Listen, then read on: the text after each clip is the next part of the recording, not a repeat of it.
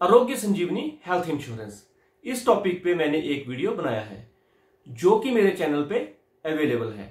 तो फ्रेंड्स, उसमें मैंने डिटेल्ड में बताया था कि आरोग्य संजीवनी हेल्थ इंश्योरेंस पॉलिसी क्या है, उसके टर्म एंड कंडीशंस क्या है, कुछ दस पॉइंट्स मैंने आपके साथ डिस्कस किए थे।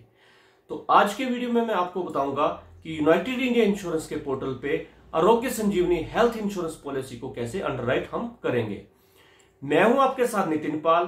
आप देख रहे हैं Tech Talk by Nitin Pal. तो फ्रेंड्स चलिए शुरू करते हैं आज का वीडियो और सीखते हैं कि आरोग्य संजीवनी हेल्थ इंश्योरेंस को अपने एजेंट्स पोर्टल पे कैसे अंडरराइट करें। तो चलिए ले चलता हूँ मैं आपको सीधे अपने कंप्यूटर स्क्रीन पे, जहाँ पे ये सारा प्रोसेस मैं आपको डिटेल में बताऊँगा। Friends Arogya Sanjeevani health insurance को यूनाइटेड इंडिया इंश्योरेंस के पोर्टल पे अंडरराइट करने के लिए सबसे पहले आप अपने यूनाइटेड इंडिया इंश्योरेंस के एजेंट्स पोर्टल पे अपने यूज़र नेम और पासवर्ड डाल के लॉगिन कर लीजिए। लॉगिन करने के बाद आपके सामने होम स्क्रीन ओपन हो जाएगी। होम स्क्रीन में आपने थर्ड ऑप्शन पॉलिसी ट्रांजैक्शन में क्लिक करना है। यहाँ पे आप मेक न्यू और रिन्यू पॉलिसी पे क्लिक करेंगे।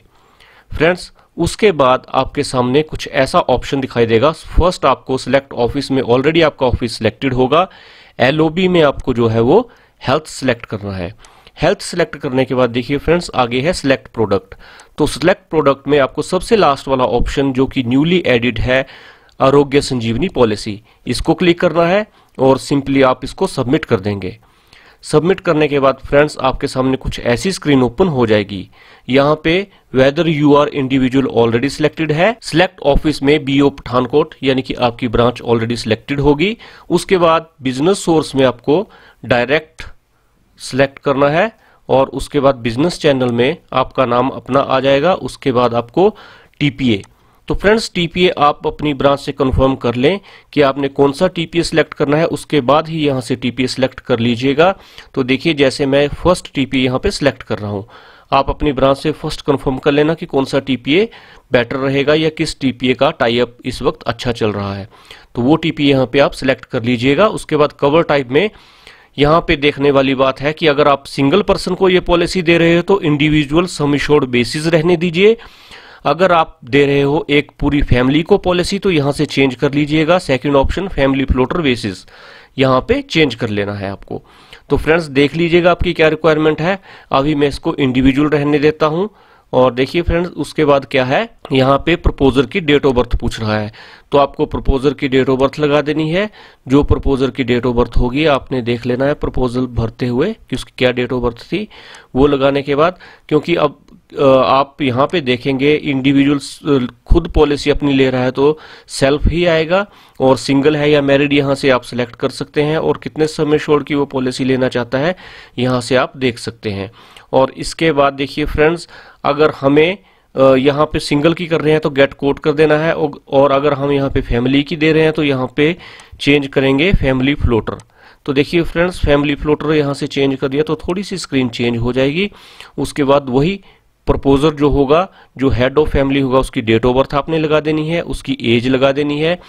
फ़र्स्ट में सेल्फ आएगा और उसका मैरिटल स्टेटस जैसे वो फैमिली के लिए ले रहा है तो ओबियसली मैरिड ही होगा या फिर कोई अपनी फादर मदर के लिए भी ले सकता है तो आप देख लीजिएगा, जैसे होगा वो आपने लगा देना है add spouse add children add parents और पेरेंट इन लॉ जैसे मैंने आपको पिछले वीडियो में बताया था कि जो आरोग्य संजीवनी पॉलिसी है, इसको अपने बच्चों के लिए तीन महीने से लेके 25 साल तक के बच्चे इसमें कवर होंगे माता पिता और सास ससुर इन ही अपने रिलेशंस को इसमें कवर कर सकते हैं।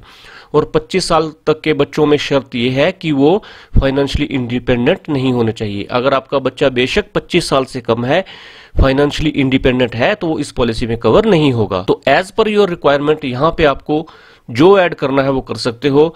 इसकी वाइफ ऐड करनी है तो ऐड स्पाउस बच्चे ऐड करने तो ऐड चिल्ड्रन और पेरेंट या फिर पेरेंट इन लॉ ऐड करने हैं तो ये वाला ऑप्शन आपको सिलेक्ट करना पड़ेगा। उसके बाद सिंपली फ्रेंड्स आपको गेट कोड करना है। उसके बाद आपके सामने प्रीमियम कैलकुलेट होके आ जाएगा और अपने सीडी अकाउंट अपडेट करने के बाद वही अमाउंट वहाँ से डिडक्ट करके पॉलिसी जो है वो कस्टमर की जनरेट कर लेनी है। और अगर आपको प्रपोजल में कोई हाइपोथिकेशन या फिर एग्जिस्टिंग मेडिकल कंडीशंस ये वाली चीज़ें ऐड करनी है तो आपको जो है वो राइट साइड में एक ऑप्शन दिखाई देगा, इसको आपने सिंपली टिक करना है। तो ये टिक करेंगे तो आपके सामने कुछ स्क्रीन जो है वो डाइवर्ट हो जाएगी। तो फ्रेंड्स देखिए, अब आपके सामने कुछ ऐसी स्क्रीन ओपन हो रही है।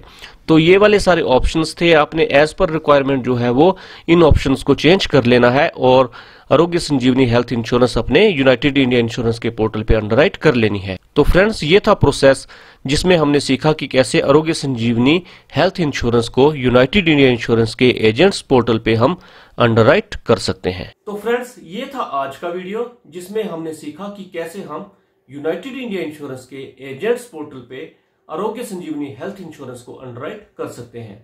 तो फ्रेंड्स, कैसा लगा आपको मेरा वीडियो? मुझे कमेंट सेक्शन में आप ज़रूर बताइए और अगर आपकी कोई क्वेरी हो तो वो भी आप मुझे कमेंट सेक्शन में पूछ सकते हैं। तो फ्रेंड्स, आज के लिए इतना ही। और अगर आपको मेरा वीडियो अच्छा लगा हो तो प्लीज़ मेरे चैनल को सब्सक्राइब कीजिए लाइक कीजिए और शेयर कीजिए। सब्सक्राइब करते हुए बेल आइकन बटन दबाना ना भूलिए, ताकि आप मेरे आने वाले वीडियोस की नोटिफिकेशन अपने मोबाइल पे पा सकें और मेरे वीडियोस देख सकें। आज के लिए इतना ही। मिलते हैं अगले वीडियो में। जय हिंद, जय भारत।